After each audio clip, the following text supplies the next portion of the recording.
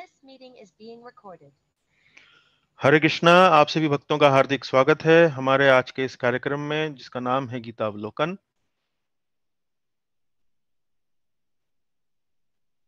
और हम आज की इस कक्षा में अध्याय 18 पर अपनी चर्चा को आगे बढ़ाएँगे। पिछली कक्षा में हमने अध्याय 18 पर अपना अध्ययन आरंभ किया था। इस अध्याय का शीर्षक है, उपसंहार संन्यास की सिद्धि। ये हमारी 103वीं कक्षा है। मंगलाचरण प्रार्थनाओं से कक्षा का आरंभ करेंगे। भक्तों से आग्रह है कि कृपा करके अपने माइक्रोफोन म्यूट कर लें।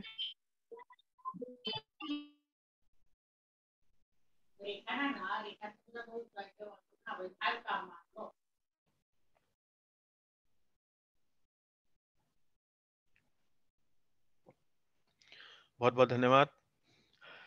मंगलाचरण प्रार्थनाओं से कार्यक्रम का आरंभ करेंगे। ओम अज्ञानतिमिरन्धस्य ज्ञानञ्जनशलाकया चक्षुरुन्मीलितं येन तस्मै श्रीगुरवे नमः। श्रीचैतन्यमनोभीष्टं स्थापितं येन भूतले। स्वयं रूप कदा मह्यं ददाति स्वपदान्तिकम् वन्देऽहं श्रीगुरोः श्रीयुतपदकमलं। श्रीगुरून् वैष्णवांश्च श्रीरूपं साग्रजातं सहगणरघुनाथान्वितं तं सजीवं साद्वैतं सावधूतं परिजनसहितं कृष्णचैतन्यदेवं। श्रीराधाकृष्णपादान् सहगणललिता श्रीविशाखान्वितांश्च हे कृष्ण, करुणा, सिन्धो, दीनबन्धो, जगत्पते। गोपेश गोपिकान्त राधाकान्त नमोऽस्तु ते। तप्त कांचन गौरांगी राधे वृंदावनेश्वरी वृषभानुसुते देवी प्रणमामि हरिप्रिये वाञ्छाकल्पतरुभ्यश्च कृपा च पतितानां पावनेभ्यो वैष्णवेभ्यो नमो नमः। जय श्री कृष्ण चैतन्य, प्रभु नित्यानंद श्री अद्वैत गदाधर श्रीवासादि गौर भक्त हरे कृष्ण हरे कृष्ण कृष्ण कृष्ण, हरे हरे। हरे राम हरे राम राम राम, हरे हरे। चलिए, इसके साथ ही हम अध्याय 18 के अवलोकन मानचित्र पर आ गए हैं। और यहाँ देखिए, पिछली बार जब हमने कक्षा अध्याय 18 पर जब अपनी चर्चा आरंभ करी थी तो हमने पहले श्लोक से लेकर नवे श्लोक तक अपनी चर्चा पूरी कर ली थी। आज की कक्षा में हम दसवें श्लोक से अपनी चर्चा को आगे बढ़ाएँगे। अभी थोड़ी देर में ही हम अभी पहले से नवे श्लोक में जो हमने चर्चा पिछली बार करी थी उसका एक बार पुनः स्मरण करेंगे एक बार फिर से रिवाइज करेंगे। आ, लेकिन आज की जो चर्चा हम करने वाले हैं उसमें मुख्य रूप से इन दो विषयों पर हम चर्चा करेंगे जो मैं यहाँ लेजर पॉइंटर से दिखा रहा हूँ आपको। दूसरा विषय मतलब पहला विषय तो है कर्मयोग द्वारा बंधन से मुक्ति। और उस चर्चा को आज हम पूरी कर लेंगे। और तेरहवें से लेकर सत्रहवें श्लोक पर आज हम चर्चा को आगे बढ़ाएँगे। तो पहले आप ये समझिए मोटे तौर पर कि इन दोनों विषयों में, इन दोनों विभागों में तेरह से सत्रह और अठारह से चालीस मुख्य रूप से भगवान श्री कृष्ण अर्जुन को क्या बताते हैं? तो ये देखिए, पहले विभाग में तो भगवान ये बता रहे हैं कि जो व्यक्ति कर्तव्य भावना से प्रेरित होकर कर्म करता है और फल की आसक्ति को त्याग कर कर्म करता है। उसके दिमाग में ये नहीं होता है कि मुझे ये फल मिलेगा, मुझे सफलता मिलेगी, असफलता मिलेगी, ऐसा कोई उसके मन में भाव नहीं होता है। सिर्फ़ भाव जो प्रधान होता है उस व्यक्ति के मन में वो है कि मुझे अपना कर्तव्य पूरा करना है। तो ऐसे व्यक्ति को क्या कहते हैं, ऐसे व्यक्ति को कहते हैं कर्मयोगी। और जो व्यक्ति कर्मयोगी होता है, भगवान श्री कृष्ण अब देखिए पहले विषय में, पहले विभाग में बताएँगे कि उसको कर्म का बंधन नहीं लगता है। उसके जीवन में कोई कर्म अच्छा कर्म या बुरा कर्म कोई बंधन नहीं लगता है। इसका मतलब ये है कि ये, इस प्रकार से कर्मयोग करना, इसका फ़ायदा क्या है, इसका लाभ क्या है? वो व्यक्ति जन्म, मृत्यु की जो चक्र है, उससे मुक्ति की ओर आगे बढ़ने लगता है। तो ये उसका लाभ है। अब आ, ये बताने के बाद फिर भगवान इन दोनों विषयों में दो बड़ी महत्वपूर्ण बातें बताते हैं।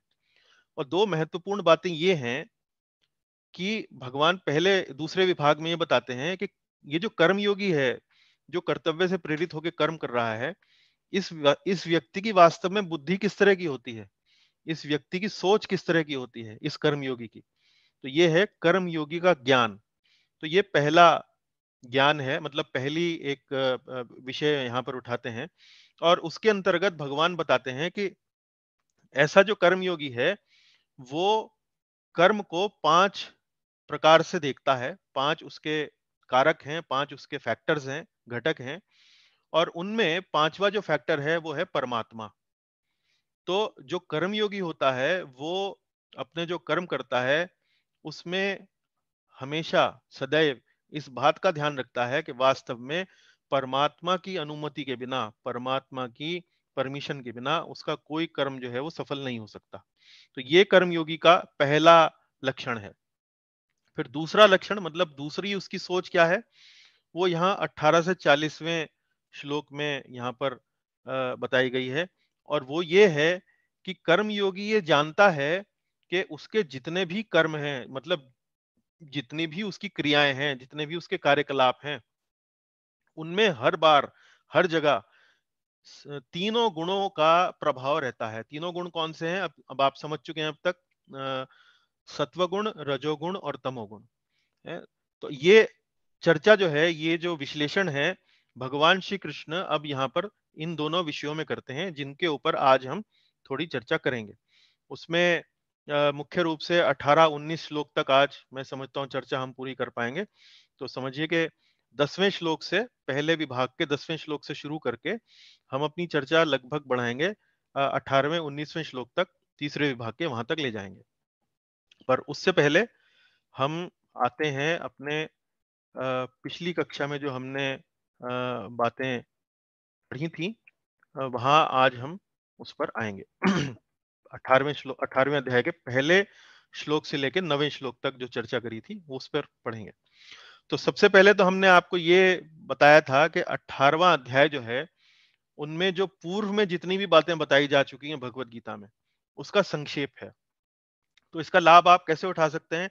इसका लाभ आप ऐसे उठा सकते हैं कि यदि आपके पास पूरी भगवत गीता का पाठ करने का समय ना हो तो आप अठारहवें अध्याय की इन सब चर्चाओं के बारे में एक बार जल्दी से आप यदि आप उसको पढ़ लें तो अठारवा अध्याय पढ़ने का अर्थ यह है कि भगवत गीता में बताए गए जितने भी मुख्य विषय हैं, उन सबको हमने एक बार पढ़ लिया है, उन सबको एक बार जान लिया है फिर संक्षेप में जो वर्णन किया गया अठारहवें अध्याय में, उसमें वास्तव में मुख्य बात क्या है? मुख्य बात यह है कि जितने भी पिछले अध्याय हैं भगवत गीता के, अध्याय दो से मुख्य रूप से आरंभ करके अध्याय सत्रह तक हर अध्याय में भगवान श्री कृष्ण अर्जुन को घुमा फिरा के एक बिंदु पर ले आते हैं। और वो बिंदु क्या है? कि जीवन में वास्तव में परम लक्ष्य है भगवान की सेवा। इसको हम दूसरे शब्दों में भक्ति कहते हैं या भक्ति योग। आ, तो ये हर अध्याय में बताया गया है और इसी बात को अठारहवें अध्याय में एक बार फिर भगवान आ, पूरा संक्षेप में जितना भी अब तक बता चुके हैं कर्म योग ध्यान योग ज्ञान योग सबका एक बार संक्षेप में वर्णन करते हुए, पुनः एक बार फिर अर्जुन को यही लेकर आते हैं कि वास्तव में भगवान की सेवा अर्थात भक्ति ही जीवन का परम लक्ष्य है। तो अब देखते हैं कि अठारहवें अध्याय में हमने किन किन बातों पर चर्चा करी? तो अठारहवें अध्याय में जो आरंभ होती है चर्चा, वो इस बात से होती है कि अर्जुन का प्रश्न एक अर्जुन करते हैं और भगवान श्री कृष्ण से वो प्रश्न पूछते हैं कि सन्यास और त्याग में क्या अंतर है? अब ये अर्जुन प्रश्न क्यों पूछ रहा है? इसको यदि समझना हो तो हमें वास्तव में भगवान श्री कृष्ण इसका उत्तर अर्जुन को किस तरह से देते हैं? यदि हम उसका विश्लेषण कर लें तो हमें ये समझ में आ जाएगा कि भाई अर्जुन ने ये प्रश्न क्यों पूछा? उसके दिमाग में क्या चल रहा था? जिस कारण से उसने प्रश्न पूछा। तो हमने आपको पिछली बार बताया था कि देखिए, सत्रहवें अध्याय में भगवान श्री कृष्ण यज्ञ, दान और तप इनका विश्लेषण करते हैं। और विश्लेषण करते हुए बताते हैं अर्जुन को, भाई सतोगुणी यज्ञ क्या होता है? रजोगुणी यज्ञ क्या होता है? रजोगुणी त्याग क्या होता है? माफ़ कीजिए, रजोगुणी दान क्या होता है? ये तो सतोगुणी, रजोगुणी और तमोगुणी यज्ञ दान तप किस तरह के होते हैं, उनके बारे में वो बताते हैं। अब अर्जुन के मन में आरंभ से ही इस बात को लेकर एक प्रश्न हमेशा से रहा है भगवत गीता में अर्जुन का जो आ, सोचना था वो ये था कि भाई मैं इस युद्ध जैसे घोर कर्म में क्यों लगूं? क्योंकि इसमें मुझे अपने गुरुजनों की अपने वरिष्ठ जनों की हत्या करनी पड़ेगी। तो मैं इस घोर कर्म में क्यों लगूं? तो अर्जुन अपने इस युद्ध का ही त्याग करना चाह रहा था। मतलब अपने इस नियत कर्म का जो उसका कर्तव्य था उसका ही त्याग करना चाह रहा था। यानी कि वो संन्यास लेना चाह रहा था। लेकिन भगवान श्री कृष्ण बार बार घुमा के उसको इस बात पर ले आते हैं कि देखो, सन्यास लेने की बजाय तुम वास्तव में कर्म, फल का त्याग यदि तुम करके या तुम कर्तव्य की भावना से प्रेरित होकर यदि तुम कोई कार्य करते हो तो वो तुम्हारे लिए श्रेयस्कर है, वो तुम्हारे लिए उपयुक्त है। तो तो अर्जुन को शुरुआत से ही भगवत गीता में अर्जुन संन्यास लेना चाह रहा है, काम छोड़ के जाना चाह रहा है और भगवान कह रहे हैं भी काम छोड़ के मत जाओ, तुम कर्तव्य की भावना से प्रेरित होकर कर्म फल से आसक्त हुए बिना उसको तुम करो। तो अब अर्जुन का प्रश्न ये है कि भाई, ये बताइए कि सन्यास और त्याग में क्या अंतर है? तो भगवान श्री कृष्ण उसको क्लियरिफाई करते हैं, उसको समझाते हैं। वो कहते हैं, देखो, सन्यास का मतलब यह है कर्म का त्याग कर देना और विशेष रूप से कौन से कर्म का त्याग कर देना? काम्य कर्म का। काम्य कर्म मतलब जिसमें हम किसी फल की आशा रखते हो। हमें कुछ मिलने वाला है। तो सन्यास का अर्थ एक तरीके से साधारण भाषा में यह है सक्रिय जीवन से संन्यास ले लेना या सक्रिय जीवन को छोड़ देना। तो जो सन्यासी होते हैं, जैसे हम भी कहते हैं, जैसे किसी ने, किसी खिलाड़ी ने क्रिकेट से संन्यास ले लिया। क्रिकेट से संन्यास ले लिया मतलब अब वो क्रिकेट नहीं खेलेगा। या साधारण शब्दों में ये समझिए कि भाई सक्रिय जीवन में संन्यास लेने का मतलब यह है कि भाई कोई व्यक्ति अपनी कोई नौकरी कर रहा है कोई व्यापार कर रहा है कोई उसका परिवार है तो वो अपने परिवार से संन्यास ले लेता है अपने नौकरी से संन्यास ले लेता है तो इसको हम संन्यास कहते हैं यानी कि काम्य कर्मों का त्याग। और फिर त्याग की परिभाषा भगवान बताते हैं कि त्याग का मतलब ये नहीं है कि आप कर्म का ही त्याग कर दें बल्कि त्याग का मतलब ये है कि आप कर्म से मिलने वाला जो फल है, है उसकी आसक्ति का आप याद यदि आप त्याग कर देते हैं तो उसको बोला जाता है कर्म फल का त्याग। तो यहाँ भगवान श्री कृष्ण बड़ी स्पष्ट परिभाषा देते हैं कि सन्यास का मतलब काम्य कर्मों का त्याग और त्याग का अर्थ हुआ आ, कर्म का त्याग नहीं करते हैं बल्कि कर्म का जो फल होता है उसकी आसक्ति का हम त्याग करते हैं। तो दोनों बातें उनको अर्जुन को बताते हैं। अब फिर चर्चा को आगे बढ़ाते हैं। वो कहते हैं देखो त्याग के विषय में दो बातें प्रचलित हैं। दो स्कूल ऑफ़ थॉट हैं। दो प्रकार के विचारक हैं। एक प्रकार के विचारक तो ये कहते हैं कि हर कर्म का त्याग कर देना चाहिए। कर्म करना ही नहीं चाहिए मतलब संसार में पढ़ना ही नहीं चाहिए। कोई व्यक्ति विवाह करे या नौकरी करे या कोई व्यापार करे, संसार में पढ़ना ही नहीं चाहिए। समस्त कर्मों का त्याग कर दे। और दूसरे जो श्रेणी के जो विचारक हैं, वो कहते हैं कि यज्ञ, दान और तप, इनका त्याग कभी नहीं करना चाहिए। हम्म। अब यहाँ भगवान फिर अर्जुन को अपना ओपिनियन बताते हैं, अपना मत बताते हैं कि वास्तव में त्याग का अर्थ क्या होता है। भगवान अपना मत बताते हैं, वो कहते हैं कि यज्ञ दान तप कभी नहीं त्यागना चाहिए। तो यहाँ तक तो ये जो भगवान का ओपिनियन है, वो इस दूसरी श्रेणी के जो विचारक हैं, उनसे मैच करता है। पहले श्रेणी के जो विचारक हैं, उनसे मैच नहीं करता है, उनसे मिलान नहीं होता है। दूसरी श्रेणी, पहली श्रेणी के विचारक तो कहते हैं, समस्त कर्मों का त्याग कर देना चाहिए। लेकिन भगवान कहते हैं कि यज्ञ, दान और तप कभी नहीं त्यागने चाहिए और इनको किस प्रकार करना चाहिए? इन्हें इस प्रकार से करना चाहिए कि कोई आसक्ति ना हो या फल की आशा ना रखें या हमें इनको ऐसे करना चाहिए कि जैसे ये हमारा कर्तव्य है, ये कर्तव्य समझकर करे जाने चाहिए। तो एक प्रकार से भगवान ने ये जो दूसरी श्रेणी के जो विचारक हैं, उनकी आधी बात मानी और लेकिन उसमें भी एक बात उन्होंने जोड़ दी, उन्होंने ये बात जोड़ दी थी कि हमें इनको यज्ञ दान तब तो करने चाहिए, लेकिन किस भावना से करनी चाहिए, किस मनो, मनोभाव से प्रेरित होकर करना चाहिए, कोई आसक्ति ना हो, फल की कोई इच्छा ना हो और कर्तव्य समझकर किया जाए तो यज्ञ दान और तप ये वास्तव में श्रेष्ठ हैं। और फिर भगवान श्री कृष्ण जो है, सतोगुणी, रजोगुणी और तमोगुणी त्याग के बारे में वर्णन करते हैं। तो एक प्रकार से भगवान ने यहाँ पर जो अर्जुन के प्रश्न पूछने का जो तात्पर्य था, वो भगवान के उत्तर से क्लियर हो जाता है। अर्जुन के प्रश्न पूछने का तात्पर्य ये था कि अभी अभी जो आपने यज्ञ, दान और तप सत्रहवें अध्याय में जो आपने अच्छे से विश्लेषण करके बताया है कि यज्ञ, दान, तप सतोगुण में, तमोगुण में, रजोगुण में कैसे होता है, इसी तरह से कृपा करके मुझे ये समझाइए कि ये जो संन्यास और ये जो त्याग हैं ये सतोगुण में, रजोगुण में और तमोगुण में कैसे होते हैं? तो फिर यहाँ भगवान सतोगुणी, रजोगुणी और तमोगुणी त्याग का वर्णन अर्जुन के लिए करते हैं। तो सतोगुणी त्याग के लिए क्या बात बताई गई? कर्तव्य से प्रेरित होकर किया जाए, फल की आसक्ति के बिना किया जाए। रजोगुणी त्याग के बारे में क्या बताया गया? कि जो व्यक्ति रजोगुणी होता है, वो अपने नियत कार्य को त्याग देता है, अपने कर्तव्य को कष्ट समझ के त्याग देता है। या उसको लगता है कि इसमें तो बहुत शारीरिक क्लेश है बहुत मेहनत करनी पड़ेगी, बहुत सिरदर्दी का काम है तो ये शारीरिक क्लेश के भय से अपने इस नियत कार्य को, अपने कर्तव्य को त्याग देता है। और तमोगुणी व्यक्ति ये भी अपने नियत कर्मों को, अपने कर्तव्य कर्मों को त्याग देता है, लेकिन इसको त्याग करने का कारण क्या है? अज्ञानता। वो ये जानता नहीं है कि वास्तव में ये मेरा कर्तव्य है, मुझे करना चाहिए। है? और ये मोहवश मतलब किसी भ्रम में पढ़कर किसी दुविधा में पढ़कर वो अपने इस नियत कर्म को त्याग देता है। तो चलिए आज की इस कक्षा को हम चर्चा को आगे बढ़ाते हैं और दसवें श्लोक से इस पर आरंभ करेंगे। दसवें श्लोक में भगवान श्री कृष्ण अभी जो परिभाषा अर्जुन को वो दे चुके हैं सतोगुणी त्याग क्या होता है रजोगुणी त्याग क्या होता है और तमोगुणी त्याग क्या होता है उसी को थोड़ा और आगे आ, उस पर आ, अपनी चर्चा को आगे बढ़ाते हैं। भगवान क्या कहते हैं यहाँ पर? सतोगुण में स्थित त्यागी उसकी सोच कैसी होती है? उसकी आ, आ, आ, उसके सोचने का तरीका क्या होता है? तो यहाँ बोलते हैं न द्वेष्टया कुशलम कर्म कुशले नानुषज्यते त्यागी सत्व समाविष्टो मेधावी छिन्न संशय।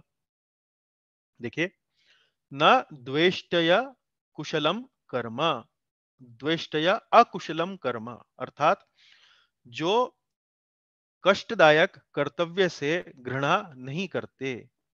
कर्म का मतलब यहाँ हो गया कर्तव्य। द्वेष्टया अकुशलम। अकुशलम का मतलब ये होगा कि जिस कर्म में कष्ट मिलने वाला हो। तो जो कष्टदायक कर्तव्य से घृणा नहीं करता, फिर कुशले ना अनुसजते जो आनंददायक कर्तव्य से आसक्त नहीं होता। कुशले मतलब यहाँ अकुशल का मतलब हो गया था कष्टदायक। और यहाँ कुशले का मतलब हो गया आनंददायक। तो जो यहाँ जो आनंददायक कर्तव्य से आसक्त नहीं होता हम्म, और त्यागी सत्व समाविष्ट हो सतो गुण में स्थित बुद्धिमान त्यागी मेधावी त्यागी सत्व समाविष्ट मेधावी मेधावी का मतलब हो गया बुद्धिमान। हम्म, तो जो सतोगुण में जो स्थित जो त्यागी बुद्धिमान त्यागी है जो बुद्धि से काम करता है जो सतोगुण में स्थित है, है वो अपने कर्तव्य के विषय में कोई संशय नहीं रखता। छिन्न संशय। अच्छा ये बात भगवान श्री कृष्ण अर्जुन को क्यों बता रहे हैं? क्योंकि अर्जुन जो है, वो अपने कर्तव्य से क्यों भाग रहा है? क्योंकि वो कर्तव्य करना, यानी कि युद्ध करना, यानी कि भीष्म पितामह पर तीर चलाना या द्रोणाचार्य पर तीर चलाना, अर्जुन के लिए बड़ा कष्टदायक हो रहा है। तो इसी बात को समझा रहे हैं भगवान कि भैया ऐसा है कि कर्तव्य अगर कष्टदायक है, उससे घृणा नहीं करनी चाहिए। अब देखिए मान लीजिए शास्त्रों में बताया गया है कि हर व्यक्ति को सुबह जल्दी उठना चाहिए जल्दी उठकर उसको स्नान करना चाहिए। अब हम लोग कई बार अपना ये जो कर्तव्य है वो नहीं करते हैं। क्यों नहीं करते हैं? अरे भाई कौन सुबह जल्दी उठेगा? मन करता है कि भाई सुबह नौ बजे तक दस बजे तक सो। सुबह सुबह मान लीजिए सर्दी है तो पानी में कौन हाथ डालेगा? तो ये आ, हम हमारी मनोभावना भी कई बार इस प्रकार की होती है कि हम अपने कर्तव्य को कष्टपूर्ण समझकर उसको त्याग देते हैं। अब जैसे किसी विद्यार्थी का कोई परीक्षा है विद्यार्थी की परीक्षा है और अगले दिन उसको परीक्षा में आ, लिखना है परीक्षा में अपना पेपर देना है लेकिन अब पिछले दिन उसके सामने कोई क्रिकेट का मैच आ गया है। अब भाई कौन परीक्षा के लिए कौन पढ़ेगा? कर्तव्य उस समय उसका यह है कि भाई विद्यार्थी होने के नाते वो परीक्षा की तैयारी करे लेकिन परीक्षा की तैयारी करना कष्टदायक लगता है और क्रिकेट मैच देखना आनंददायक लगता है। तो भगवान वही बता रहे हैं कि जो कष्टदायक कर्तव्य से घृणा नहीं करता और जो आनंददायक कर्तव्य से आसक्त नहीं होता, वह जो त्यागी है, ये जो त्यागी है, ये वास्तव में सतोगुण में है और ये बुद्धिमान है। ये जानता है कि वास्तव में मुझे क्या करना चाहिए, क्या नहीं करना चाहिए। कर्तव्य के विषय में कोई संशय नहीं रखता है। तो इसीलिए भगवान श्री कृष्ण अर्जुन को ये बता रहे हैं, क्योंकि अर्जुन की बुद्धि इस समय मोहग्रस्त हो चुकी है। वो कर्तव्य के बारे में अपना विचार जो है वो अपने जो उसके जो बड़े बुज़ुर्ग हैं, उनकी हत्या के विचार से वो भ्रमित हो गया है। मोह मोह से, मोह ने उसको एक तरीके से अपना पकड़ बना ली है। तो इसलिए वो अपना युद्ध छोड़ के भागना चाह रहा है। इसलिए भगवान श्री कृष्ण उसको ये सब उपदेश दे रहे हैं। कर्मयोग के बारे में समझा रहे हैं। तो कर्म योग में फिर देखिए आगे, समस्त कर्म का त्याग करना असंभव। भगवान श्री कृष्ण अब एक बहुत महत्वपूर्ण बात बता रहे हैं अर्जुन को। अर्जुन को वो कह रहे हैं कि देखो, कर्म का त्याग करना असंभव है। है, कोई भी जो जो व्यक्ति जिसके, जिसने जन्म लिया है, उसके लिए कर्म का त्याग करना असंभव है। कर्म करना व्यक्ति की, मनुष्य की प्रकृति है, स्वभाव है। तो ये देखिए, नहीं देह भ्रता शक्यम, त्यक्तुम कर्मा अन्यशेत त्यक्तुम कर्माण्य शेषतः। यस्तु कर्म फल त्यागी सत्यागित्य भी धीयते देखिए, क्या कह रहे हैं? नहीं देह भ्रता शक्यम देह भ्रता शक्यम मतलब जो व्यक्ति, जो देहधारी प्राणी है, जिसने जन्म लिया है, जिसने देह धारण करी है, उसके लिए संभव नहीं है। नहीं देह भ्रता शक्यम शक्यम का मतलब संभव। न शक्यम का मतलब संभव नहीं है। देहधारी प्राणी के लिए यह संभव नहीं है। क्या संभव नहीं है? त्यक्तुम कर्माण्य अशेषतः। अशेषता का मतलब यह है कि पूर्णतया, कि वह कर्मों को पूर्णतया त्याग कर दे। कर्मों का पूर्णतया त्याग करने का मतलब यह है आलस करना। आलस करना मतलब जैसे हमें सुबह जल्दी उठकर स्नान करना चाहिए, लेकिन हम आलस के कारण उसको उसको नहीं करते हैं। तो कि वह कर्मों का पूर्णतया त्याग कर दे। यस्तु कर्म फल त्यागी, किंतु जो कर्म फल का परित्याग करता है, वही वास्तव में त्यागी कहलाता है। सत्यागित्य अभिधीयते। लेकिन जो कर्म फल का त्याग करता है, वही वास्तव में त्यागी कहलाता है। तो इस बात का, इस बात का भेदभाव नहीं करता है कि ये कर्म जो है वास्तव में प्रिय लगने वाला है या ये कर्म जो है ये कर्तव्य जो है वास्तव में कष्ट, कष्टदायक लगने वाला है, इस बात का भेदभाव नहीं करता है और वही वास्तव में त्यागी कहलाता है। लेकिन यदि, और भगवान यहाँ एक महत्वपूर्ण बात ये बता रहे हैं कि देहधारी व्यक्ति के लिए यह संभव नहीं है कि वे कर्मों का पूर्णतया त्याग कर दे। इसी बात को, इसी बात को भगवान श्री कृष्ण ने तीसरे अध्याय के पाँचवें श्लोक में भी कहा था। बिल्कुल यही बात कही थी। तो जो हम आपको बता रहे हैं यहाँ पर कि अध्याय 18 जो है वो पिछले जो जितने भी अध्याय हैं, उनका एक प्रकार से सार है, उनको संक्षेप में बताया है। उसी बात को देखिए, आपकी याददाश्त ताज़ा करने के लिए, आपकी याद ताज़ा करने के लिए तीसरे अध्याय का पांचवा श्लोक देखिए। तीसरे अध्याय का पांचवा श्लोक है, नहीं कश्चित क्षणमपि, नहीं कश्चित क्षणमपि जातु तिष्ठत्य कर्मकृत। कार्यते ह्यावश कर्म, सर्व प्रकृति जय गुणा यहाँ भगवान कह रहे हैं, नहीं कश्चित क्षणमपि, एक भी क्षण के लिए जातु तिष्ठत्य कर्मकृत, बिना कुछ किए नहीं रह सकता है। कोई भी व्यक्ति जो है, कोई भी देहधारी जीव जो है, बिना कुछ कुछ किए नहीं रह सकता है। कार्यते यह वश कर्म, उसे विवश होकर कर्म करना पड़ता है। सर्व प्रकृतिर जय गुण क्योंकि वह प्रकृति के गुणों से बंधा होता है। तो यहाँ भगवान श्री कृष्ण अर्जुन को एक बहुत महत्वपूर्ण संदेश दे रहे हैं। वो ये दे रहे हैं कि अर्जुन जो है वो संन्यास लेना चाह रहा है। वो चाह रहा है कि मैं तो युद्ध छोड़ दूँ, मैं तो परिवार छोड़ दूँ, मैं तो जाके जंगल में सन्यासी बन जाऊँ। तो भगवान श्री कृष्ण कह रहे हैं कि देखो भाई, तुम्हारा स्वभाव नहीं है सन्यास का, तुम्हारी प्रकृति नहीं है सन्यास की। सन्यास लेने के लिए वास्तव में व्यक्ति को एक चेतना के एक शुद्ध स्तर पर उसको होना चाहिए, जहाँ पर उसकी कोई रजोगुण में तमोगुण में कोई उसका मतलब उस प्रकार की प्रकृति उसकी ना हो। लेकिन तुम्हारा जो स्वभाव है वो है क्षत्रिय स्वभाव। क्षत्रिय स्वभाव से रजोगुणी होता है। और रजोगुणी स्वभाव में वो वो व्यक्ति जो है वो संन्यास नहीं ले सकता है।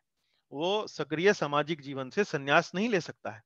और फिर भगवान बता रहे हैं कि कोई भी एक क्षण के लिए बिना कुछ किए नहीं रह सकता है। मतलब तुम यदि संन्यास ले ले ले, ले भी लोगे तो तुम्हारा जो स्वभाव है, क्षत्रिय स्वभाव, वो जो संन्यास के अनुकूल नहीं है, तुम जंगल में जाकर, तुम वन में जाकर, तुम्हें वहाँ कोई इस प्रकार का यदि तुम्हें युद्ध करने के लिए यदि तुमको प्रेरित करेगा तो तुम युद्ध कर बैठोगे वहाँ पर। तो तुम इस प्रकार से असमय, बिना अपनी प्रकृति को जाने, बिना अपने स्वभाव को जाने, इस प्रकार से संन्यास मत लो। और ये मैं तुमको इसलिए कह रहा हूँ क्योंकि एक क्षण के लिए भी कोई कुछ किए बिना नहीं रह सकता है तो तुम तुम अपने आप को रोक नहीं पाओगे। इसी बात को समझाने के लिए प्रभुपाद जी ने तीसरे अध्याय के पाँचवें श्लोक के तात्पर्य में कुछ बहुत बड़ी अच्छी बातें बताई हैं। वो कहते हैं कि आत्मा का यह स्वभाव है कि वह सदैव सक्रिय रहता है। आत्मा की अनुपस्थिति में भौतिक शरीर हिल भी नहीं सकता। यह शरीर मृत वाहन के समान है जो आत्मा द्वारा चालित होता है। क्योंकि आत्मा सदैव गतिशील रहता है और वह एक क्षण के लिए भी नहीं रुक सकता। तो जो लोग ये सोचते हैं, जो आलस्यवश वास्तव में कर्म नहीं करते हैं, अपना कर्तव्य नहीं निभाते हैं, वास्तव में वो कर्म बंधन में ही पड़ते हैं। क्योंकि आत्मा का स्वभाव सक्रिय है और इस सक्रिय स्वभाव को हमें किस प्रकार से इसका उपयोग करना है, इसका हमें उपयोग इस प्रकार से करना है कि हमारे जो कर्तव्य कर्म है, हम उनको करें। और इस सक्रियता को जो आत्मा की जो सक्रियता है सक्रियता है उसको वास्तव में उसका उपयोग करें उसको सही दिशा में उसको लगाएँ। यदि हम इसको सही दिशा में नहीं लगाते हैं यदि हम आलस्यवश कुछ कर्म नहीं करते हैं तो भी हम कर्म बंधन में पड़ते हैं। और यदि हम अज्ञानतावश या कष्ट समझकर या आ, कुछ और समझकर उस प्रकार के कर्म अधिक करते हैं जो वास्तव में हमें आनंददायक लगते हैं और बजाय उसके के हम अपने कर्तव्य को कष्ट समझकर छोड़ देते हैं तो इन दोनों परिस्थितियों में आलस्य के कारण अपना कर्म छोड़ना और आनंदमय कर्म को ही स्वीकार करना, कष्टप्रद कर्तव्यों को छोड़ देना, इन दोनों परिस्थितियों में ही हमको कर्म बंधन में पड़ना पड़ता है। और जब कर्म बंधन में हम पड़ते हैं तो हमें उनका एक प्रकार से कर्मों का हिसाब चुकाने के लिए अगला जन्म हमको लेना पड़ता है। तो दूसरा पॉइंट देखिए, माया के संसर्ग में आकर आत्मा भौतिक गुण प्राप्त कर लेता है और आत्मा को ऐसे आकर्षणों से शुद्ध करने के लिए यह आवश्यक है कि शास्त्रों द्वारा आदिष्ट कर्मों में इसे संलग्न रखा जाए। संलग्न रखा जाए मतलब इसको इन्वॉल्व रखा जाए। और कैसे कर्मों में? जो शास्त्रों द्वारा आदिष्ट कर्म हैं, जो शास्त्रों में बताए गए जो हमारे कर्तव्य हैं, एक पिता होने के नाते हमारे कर्तव्य है, पुत्र होने के नाते हमारे कर्तव्य हैं, देश का नागरिक होने के नाते हमारे कर्तव्य होते हैं।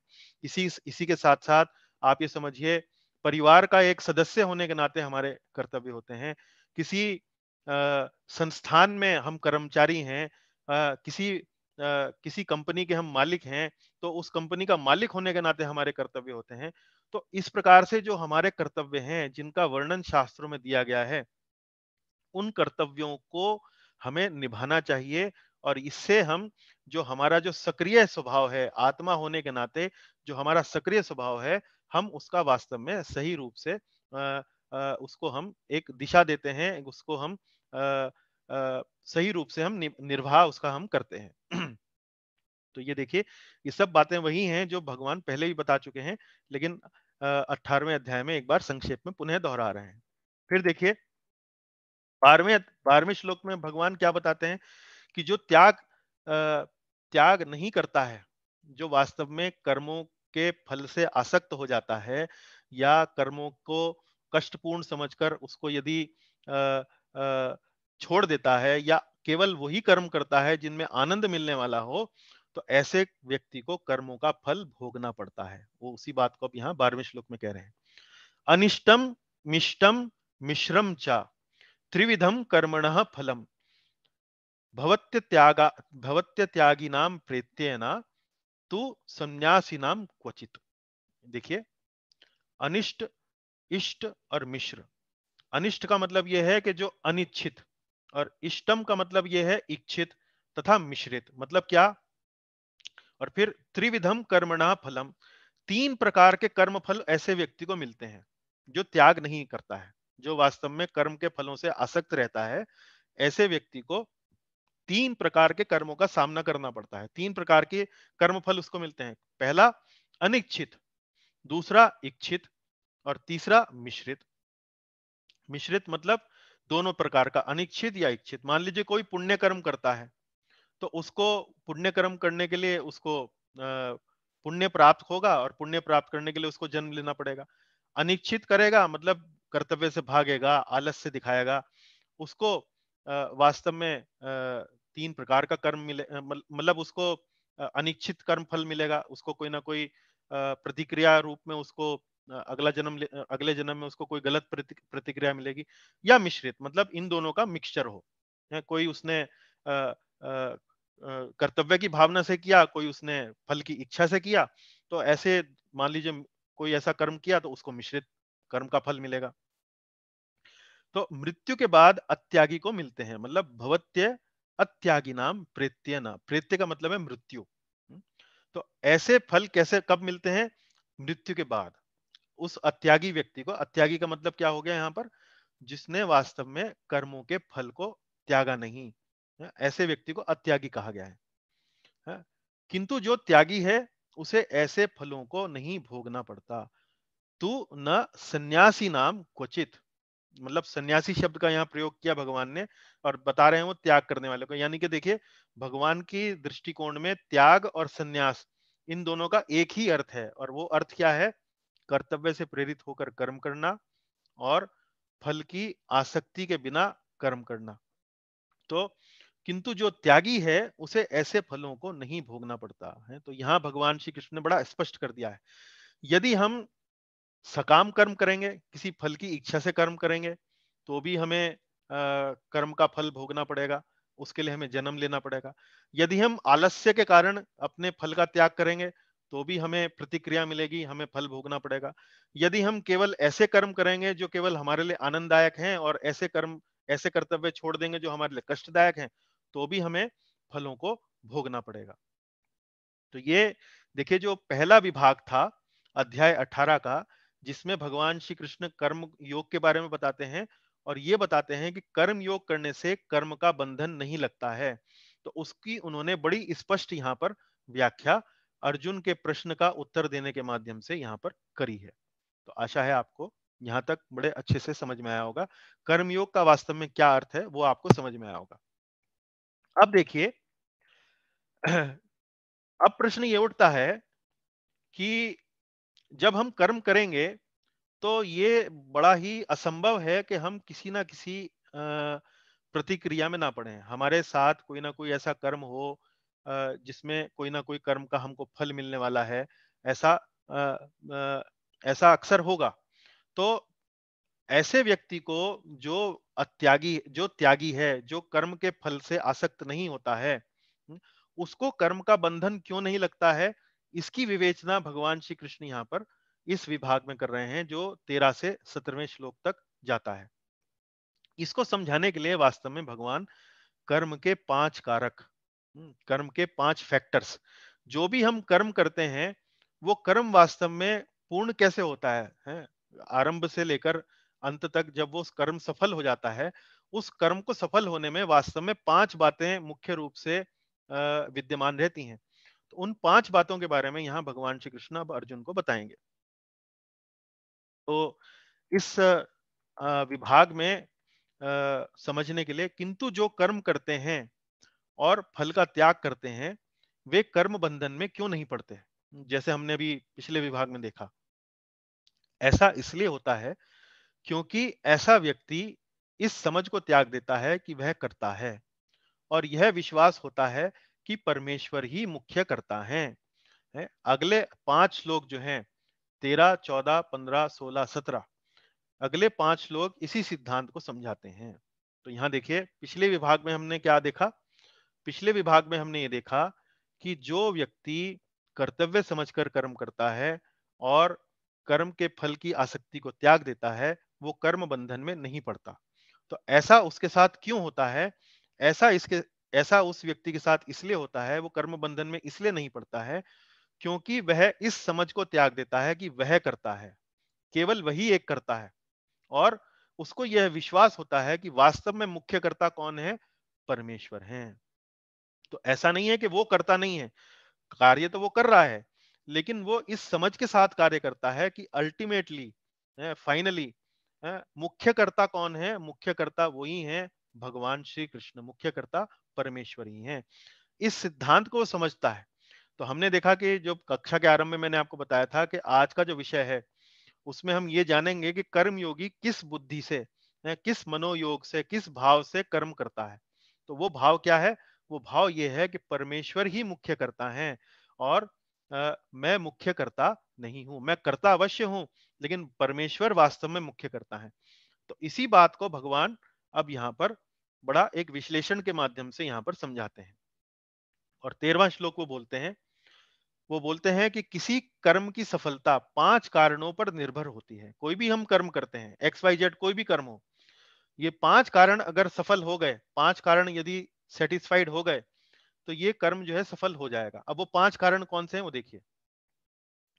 पंचेतानी महाबाहो, कारणानी निबोध में सांख्ये कृतांत प्रोक्तानी सर्व कर्मणाम सांख्ये कृतांत प्रोक्तानी सर्व कर्मणाम भगवान श्री कृष्ण कह रहे हैं, हे महाबाहो, ये पाँच कारण मुझसे जानो। पंचतानी महाबाहो, कारणानी निबोध में। ये पाँच कारण, पंचेतानी, कारणानी निबोध। निबोध मतलब मुझसे जानो, मैं मतलब मेरे से। भगवान श्री कृष्ण कह रहे हैं। और ये कौन से कारण है? कहाँ लिखे हैं? सांख्य कृतांत प्रोक्तानी। ये जो बातें मैं तुमको बता रहा हूँ, ये कहाँ लिखी है? ये वेदांत दर्शन में ये बताई गई है। सांख्य कृतांत प्रोक्तानी। वेदांत दर्शन में यह निष्कर्ष बताया गया है। और क्या है ये? किस बारे में है? सिद्ध ये सर्व कर्मणाम समस्त कर्मों की सफलता के लिए। तो कोई भी कर्म हो, उसमें सफलता क्या होती है, कैसे मिलती है, उसके पाँच कारण होते हैं। इस बात का वर्णन कहाँ किया गया है? इस बात का वर्णन किया गया वेदांत दर्शन में और ये अब तुम मुझसे जानो। हम्म, इस तरह से भगवान अर्जुन को आके पाँच कारण बताते हैं कर्म की सफलता के। अब यहाँ देखिए तात्पर्य में भगवान प्रभुपाद जी ने कुछ बातें लिखी हैं वो देखिए वो समझना आवश्यक है। तो यहाँ जो शब्द आया है सांख्य कृतांत प्रोक्तानी सांख्य। ये सांख्य शब्द का अर्थ यहाँ प्रभुपाद जी बता रहे हैं। वो कह रहे हैं सांख्य का अर्थ है ज्ञान का आधार स्तंभ, और वेदांत अग्रणी आचार्यों द्वारा स्वीकृत ज्ञान का चरम आधार आधार स्तंभ है। सांख्य का अर्थ क्या है? ज्ञान का आधार स्तंभ। आधार स्तंभ मतलब ज्ञान कहाँ से हमें लेना चाहिए? वो लिखा है सांख्य। और सांख्य मतलब क्या? वेदांत। और ये वेदांत के बारे में आचार्यों का क्या मत है? वेदांतों, वेदांत के बारे में आचार्यों का मत है कि यह ज्ञान का चरम आधार स्तंभ है। चरम मतलब अल्टीमेट इसके बाद और कुछ नहीं है। अगर हम वेदांत को समझ लेते हैं तो वास्तव में जीवन के बारे में आ, हमारे आ, आ, हमारे बारे में आत्मा के बारे में आध्यात्मिक ज्ञान के बारे में जो कुछ भी जानकारी हमें चाहिए उसका वास्तव में आधार स्तंभ क्या है? चरम आधार स्तंभ क्या है? वेदांत। वेदांत मतलब क्या? वेद और अंत। वेद मतलब जितने भी ये चार वेद हैं, इन चारों वेदों में जो सबसे मुख्य रूप से जो बातें व्यक्ति को जानने योग्य हैं, उनका सब उल्लेख जो है वेदांत में किया गया है। इसे ही हम सांख्य भी बोलते हैं। यहाँ तक कि शंकर भी, शंकर का मतलब यहाँ भगवान शंकर से नहीं है, शंकर का मतलब यहाँ श्रीपाद शंकराचार्य से है। यहाँ तक कि शंकराचार्य भी वेदांत सूत्र को इसी रूप में स्वीकार करते हैं। तो यहाँ शंकराचार्य जी का वर्णन क्यों किया गया है? क्योंकि हमारा जो दर्शन है, इस्कॉन संस्था में जो आप प्रभुपाद जी की टीकाओं के माध्यम से जो दर्शन पढ़ रहे हैं, वो वैष्णव दर्शन है। और वैष्णव दर्शन और शंकराचार्य जी का जो दर्शन है, उसमें कुछ मतभेद हैं। लेकिन वेदांत सूत्र को लेकर शंकराचार्य भी इस बात को स्वीकार करते हैं कि वास्तव में यह ज्ञान का चरम आधार स्तंभ है, इसके अतिरिक्त और कुछ नहीं है। और फिर दूसरी जो एक टीका है शिला विश्वनाथ चक्रवर्ती ठाकुर द्वारा उन्होंने अपनी भगवत गीता की टीका में इसी श्लोक के तात्पर्य में लिखा है, जो सम्यक रूप से परमात्मा के विषय में बताता है, वह संख्य है। संख्य मतलब समख्य अर्थात वेदांत दर्शन। है? संघ से आ गया सम्यक और ख्य का मतलब बताना, जैसे आख्याति। आख्याति का मतलब होता है बोलना या बताना। तो सम्यक रूप से परमात्मा के विषय में बताने वाला वह संख्य है। सम यानी कि सम्यक, अख्य मतलब बताना। तो सम्यक रूप मतलब पूर्ण रूप से। उसमें कोई बात छूटती नहीं है, कोई बात इनकम्प्लीट नहीं रहती है? तो किए गए कर्म का नाश किस प्रकार होता है?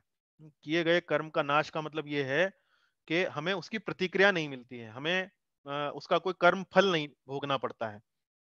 ये कहाँ बताया गया है? ये बताया गया है सांख्य में, ये बताया गया है वेदांत में। तो ये देखिए, ये बात हम तेरहवें श्लोक से ये बात समझ गए हैं कि तेरहवें श्लोक में ये कहा गया है कि भाई, पंचतानी महाबाहो, कर्म की सफलता के पाँच कारण हैं जिनका सांख्य में वर्णन किया गया है, और ये अब तुम मुझसे सुनो। अब ये पाँच कारण कौन से हैं? ये देखिए। इसका वर्णन भगवान चौदहवें श्लोक में करते हैं। वो कहते हैं, किसी कर्म की सफलता के पाँच कारण होते हैं, और वो क्या है? अधिष्ठानम तथा कर्ता कर्णम च पृथक विधम विविधाश्च पृथक चेष्टा दैवम चैवात्र पंचमम पाँच कारण कौन से हैं? अधिष्ठानम अधिष्ठानम का अर्थ क्या है? कर्म का स्थान। कर्म का स्थान अर्थात शरीर। दूसरा कारण क्या है? कर्ता। तीसरा कारण क्या है? कर्णम कर्णम का अर्थ क्या होता है? विभिन्न इंद्रियाँ। इंद्रियाँ मतलब पाँच कर्म इंद्रियाँ, पाँच ज्ञान इंद्रियाँ तथा मन। फिर विविधाश्च पृथक चेष्टा। विविधाश्च पृथक चेष्टा मतलब चौथा कारण क्या है? अनेक अनेक प्रकार की चेष्टाएँ और फिर दैवम। दैवम का मतलब परमात्मा। चैवात्र पंचमम। ये पाँच कर्म के कारण हैं। अब श्लोक सुनकर आपको लगेगा कि भाई कितनी कठिन सी बात है। ये अधिष्ठान क्या होता है? कर्ता क्या होता है? कर्णम क्या होता है, है? फिर पृथक चेष्टा क्या होता है अलग अलग चेष्टा क्या होती है? और दैव मतलब परमात्मा ये मतलब क्या बता रहे हैं? थोड़ा सा तकनीकी हो गया है बड़ा टेक्निकल सा हो गया थोड़ा सरल कर कर हमें समझाना चाहिए। तो सरल करने के लिए समझाने के लिए देखिए ये टेबल देखिए ये स्लाइड देखिए। सांख्य के अनुसार कर्म के पाँच कारक या पाँच कारण। तो अधिष्ठानम कर्ता कर्णम चेष्टा और दैवम। हम्म, तो ये देखिए अधिष्ठानम का अर्थ क्या हुआ? कर्म का स्थान अथवा जीव का शरीर। इसको मैं सरल कर कर अगली स्लाइड में एक बार फिर समझाऊँगा। कर्म का स्थान अथवा जीव का शरीर मतलब क्या? हम लोग जीवात्मा हैं और इस शरीर के अंदर हमारी आत्मा जो है वो विद्यमान है। और चारों तरफ़ हमारे आ, हम देखते हैं कि प्रकृति है आ, पेड़ हैं पौधे हैं घर है इत्यादि इत्यादि इस प्रकार से। तो कर्म का स्थान और जीव का शरीर। तो कोई भी कार्य करने के लिए हमें शरीर की आवश्यकता होती है, बिना शरीर के तो हम नहीं कर सकते। फिर कर्ता कर्ता का मतलब कर्म करने वाला। कर्म करना अर्थात क्या हुआ? आत्मा। कर्णम कर्णम का अर्थ हुआ, हम जो भी कर्म करते हैं, शरीर में, उसमें इंद्रियों के सहयोग से ही हम वो कर्म कर पाते हैं। यदि मान लीजिए हमारी इंद्रियाँ ना हो, कोई व्यक्ति आँखों से देख ना सके, कानों से सुन ना सके, नाक से सूंघ ना सके त्वचा से अनुभवी अनु, अनुभव ना कर सके तो हम कर्म क्या कर पाएँगे? नहीं कर पाएँगे। तो कर्णम मतलब क्या है? कर्म के उपकरण है। उपकरण मतलब इंस्ट्रूमेंट्स जैसे हमें किसी से बात करनी हो तो हम ये मोबाइल फ़ोन लगाकर हम बात करते हैं तो ये एक इंस्ट्रूमेंट है। तो इसी तरह से इंद्रियाँ भी क्या है? इंद्रियाँ भी एक इंस्ट्रूमेंट है। तो कर्म के उपकरण अर्थात विभिन्न इंद्रियाँ और चेष्टा क्या है?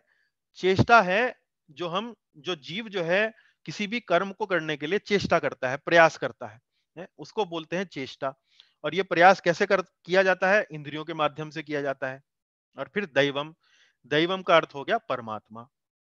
तो कोई भी कर्म जब हम करते हैं तो उसकी सफलता में ये पाँच जो कारण हैं वो इन्वॉल्व रहते हैं। इसको हम एक उदाहरण के माध्यम से समझेंगे।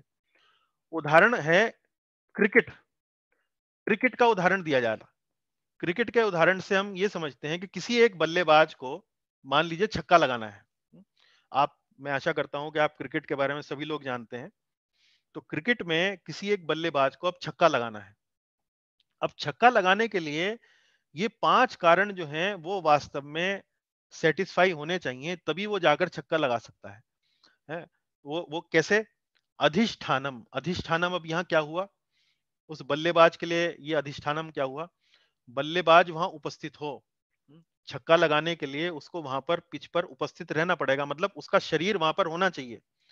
ऐसा नहीं हो सकता है कि वो बल्लेबाज जो है अपने घर पे बैठा है और क्रिकेट मैच में जाकर वो छक्का लगा ले। ऐसा संभव नहीं है तो उसको शरीर चाहिए और शरीर कहाँ होना चाहिए?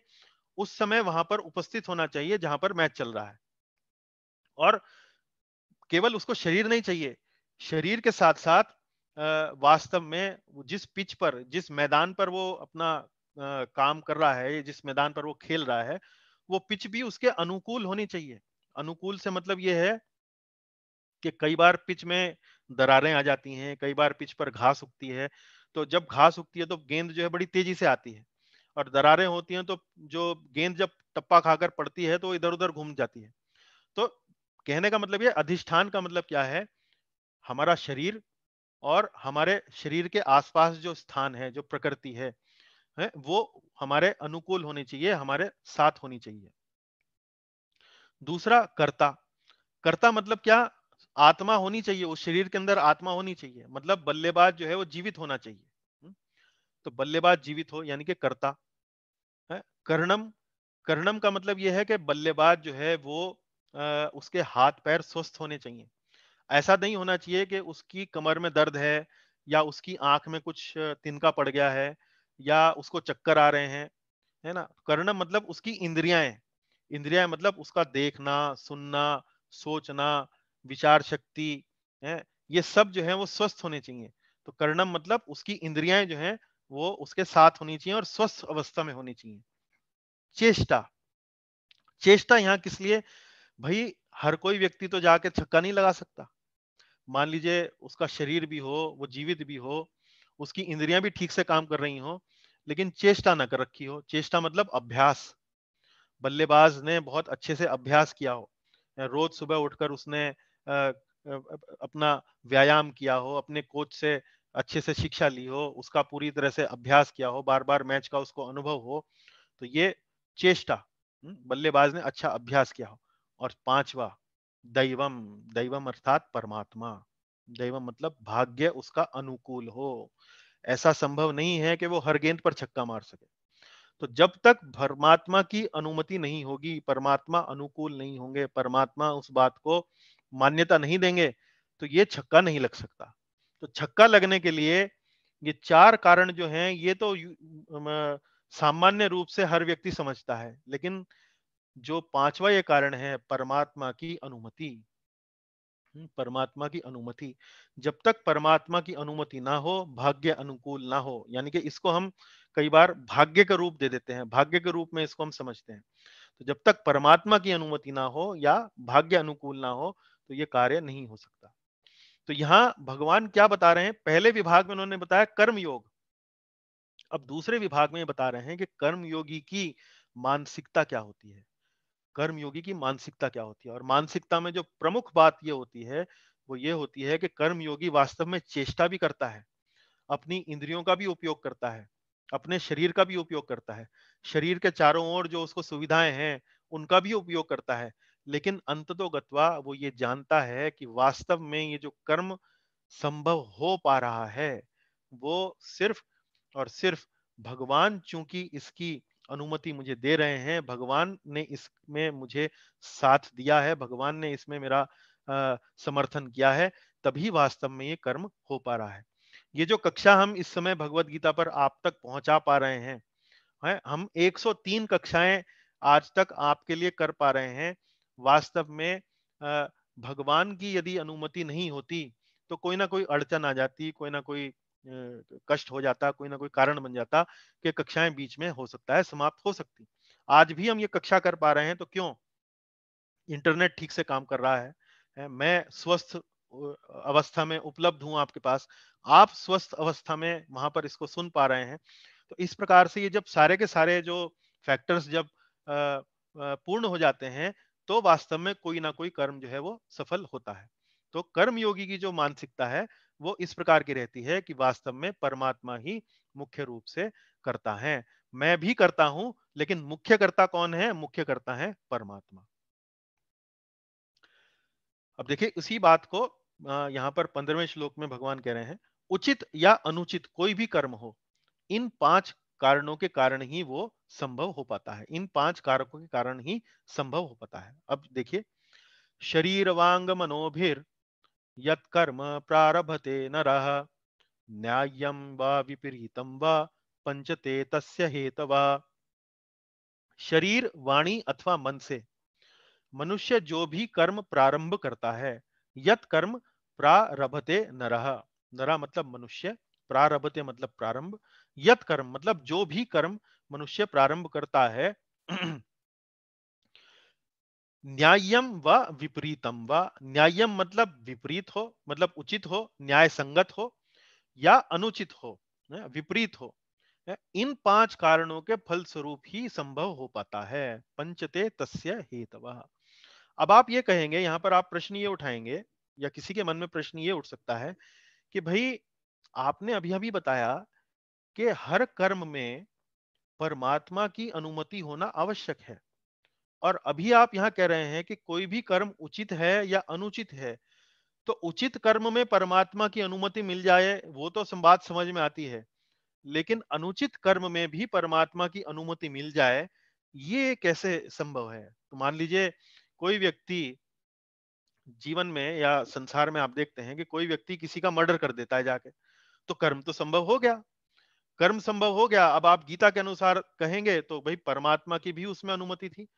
तो ये तो बड़ी गलत बात है भाई, परमात्मा ने ऐसे कैसे उसको अनुमति दे दी उसको इस प्रकार का बुरा कर्म करने की? तो देखिए, उस बात को हम ऐसे समझ सकते हैं कि परमात्मा जब अनुमति देते हैं तो हर बार वो प्रसन्न होकर अनुमति नहीं देते हैं। जीव जो है वो कहता है कि मुझे ये कार्य करना है। परमात्मा अंतर से, अंदर से, अंतरात्मा से वो एक बार जीव को टोकते हैं कि भाई ये कार्य करना ठीक नहीं है। लेकिन जीव जो है वो अपनी इच्छा को ऊपर रखते हुए अपनी बात को ऊपर रखते हुए वो कर्म करता है। तो परमात्मा अनुमति देते तो हैं लेकिन स्वेच्छा से अनुमति नहीं देते हैं। विवशता पूर्वक एक प्रकार से ये कहा जाए कि अनुमति देते हैं। इसको एक उदाहरण के माध्यम से समझ सकते हैं। जैसे मान लीजिए पर आ, आ, माता पिता हैं और उनका कोई बालक है। बालक जो है वो चाहता है कि वो चक्कू से खेले। बालक की इच्छा है कि वो चक्कू से खेले। माता पिता मना करते हैं, भाई नहीं, चक्कू से मत खेलो, हाथ कट जाएगा। या पंखा चल रहा है, एक स्टैंडिंग फ़ैन है वो पंखा चल रहा है। बालक की इच्छा है कि वो पंखे में उंगली डालकर देखे। बालक के मन में, बालक अभी नादान है, उसको मालूम नहीं है, वो वो जाल, वो चाहता है कि वो पंखे में उंगली डालकर देखे, भाई, उंगली डालकर कैसे लगता है? माता पिता मना कर रहे हैं, भाई नहीं, उंगली मत डालो मत डालो, हाथ कट जाएगा। लेकिन बालक जो है माता पिता की बात नहीं मानता है। बालक कहता है, नहीं, मैं तो चक्कू से खेलूँगा। या ये कहता है कि, नहीं, मैं तो चॉकलेट खाऊँगा। माता पिता कहते हैं, नहीं, चॉकलेट मत खाओ। चॉकलेट खाने से दांत खराब होंगे, पेट खराब होगा, तबियत खराब होगी। बोले, नहीं, मैं तो चॉकलेट खाऊँगा। अब माता पिता बहुत समझाते हैं, लेकिन बच्चा नहीं मानता है। बच्चा नहीं मानता है और उस कार्य को करता है। और उस कार्य को करता है और फिर उसका दुष्परिणाम भुगतता है। तो भगवान जीव के गलत कार्यों की या अनुचित कार्यों की भी जब अनुमति देते हैं तो उसको ऐसा नहीं समझना चाहिए कि भगवान स्वेच्छा से प्रसन्न होकर ये अनुमति दे रहे हैं। भगवान कुछ नहीं कर रहे भगवान कुछ नहीं कर पा रहे हैं मतलब भगवान ये कहिए कि जीव कह रहा है, जीव हट पूर्वक कह रहा है कि नहीं, मैं तो ये करूँगा तो भगवान कहते ठीक है, करो। अब करो अब वो हट पूर्वक गलत कार्य करता है तो भगवान ने विधान बना रखा है कि भाई गलत कार्य करोगे तो गलत परिणाम भुगतना पड़ेगा गलत कर्म भुगत कर्म फल मिलेगा तुम उसको तुम्हें कोई ना कोई उसका परिणाम इस जीवन में भुगतना पड़ेगा नहीं तो अगले जीवन में भुगतना पड़ेगा। तो अनुचित कर्म को भी भगवान अनुमति देते हैं इसको हम आ, माता पिता के और बच्चों के हट धर्मिता के उदाहरण से अच्छी तरह समझ सकते हैं। आगे देखिए प्रभुपाद जी भी इस श्लोक के तात्पर्य में लिखते हैं, इस श्लोक में न्याय उचित तथा विपरीत, अनुचित शब्द अत्यंत महत्वपूर्ण है। सही कार्य शास्त्रों में निर्दिष्ट निर्देशों के अनुसार किया जाता है और अनुचित कार्य में शास्त्रीय आदेशों की अवहेलना की जाती है। किंतु जो कर्म किया जाता है, उसकी पूर्णता के लिए पाँच कारणों की आवश्यकता पड़ती है। तो चाहे उचित कर्म हो या अनुचित कर्म हो ये पाँचों कारण जब तक संतुष्ट नहीं होंगे, कोई भी कर्म जो है वो पूर्ण नहीं हो सकता है। और ये जो ज्ञान है, ये जो नॉलेज है, ये एक कर्म योगी भली भांति समझता है।